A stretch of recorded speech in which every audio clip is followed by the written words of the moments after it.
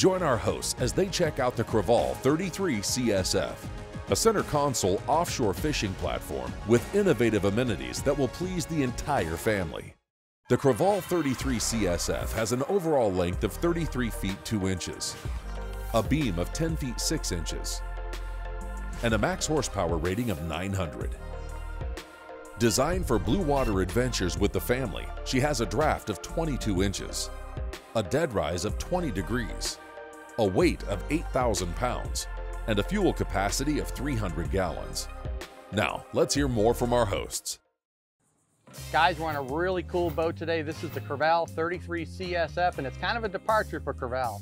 Now, these guys have done a great job really getting a handle on the bay boat hybrid market, and this is their first real foray into a purely blue water boat with a lot of bells and whistles.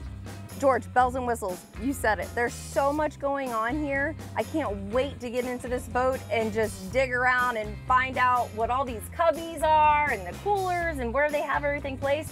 This boat looks like it's got it all. Yeah, very well may, Lori, but let me tell you something.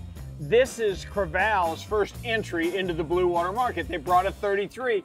I see so much stuff that came from outside eyes and new eyes into this type of boat. I cannot wait to spend some time on it. Crevalle took all the desirable traits of their 24 to 26 foot models and expanded not only the usable deck footprint to accommodate a larger group on board, they also expanded the offshore possibilities and range into the distant blue water arena. The solid feeling ride offered by the 33 CSF in the big water is due in part to Crevalle's resin infusion manufacturing process. This crimp process assures consistent material to resin proportion throughout the entire structure.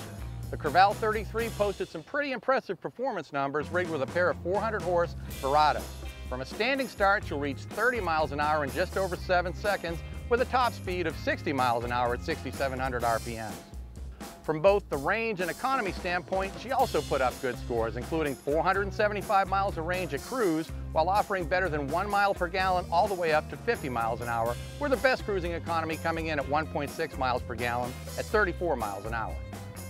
I tend to look at all boats from a fisherman's point of view, and right away noticing that she had three live wells was super to me because one of them was in front of the console. That is so nice when you see a fish and you want to cast at him from the bow. Chad Jaros from Crevalle hooked a beautiful cobia, which immediately attracted the attention of a big bull shark. Speed was of the essence, let me tell you, and Chad made three 360 degree laps around that boat, keeping the cobia away from the bull shark. We finally gaffed him, got him in the boat, and let me tell you something, it was important that we had the room to maneuver. Now, having the two 70 inch fish boxes in the deck meant we could have taken a whole lot more, but we were more than thankful to have the one we got. Listen up, it's even got a slide out mezzanine seating in the pit, fantastic helm station tackle storage, and even enough rod racks to start your own tackle shop on the rocket launcher. All this adds up to the Crevalle 33 Sportfish giving no quarter as a serious tournament fisherman. We had port and starboard bow seating with open storage. Behind the bow seating backrest is a table with built-in cup holders and more storage. Another great feature for comfort is the lounge seat in front of the console had to have been one of the most comfortable lounge chairs I have ever sat on. Crevalle provides custom upholstery with contoured seating and cushions with multi-density foam that provides maximum endurance and comfort. Inside the console today, you had a head, sink, and rod storage. But the best part is the standing room. I actually went in there and put my arms all the way up and still could not touch the ceiling. That shows you how much room you actually have in there. Guys, today was amazing. Not only did we have the Crevalle family on the boat today, we were able to see exactly what this boat was built for. Well, I think you're right. And I was constantly surprised what a new set of eyes. I saw more things today that I never knew I needed, and now I feel like I can't live without. All this kind of stuff can you add to your boat? And I got worried about the boat being too busy. Then we've got a bull shark chasing a cobia around the boat seamlessly. Work like a champ.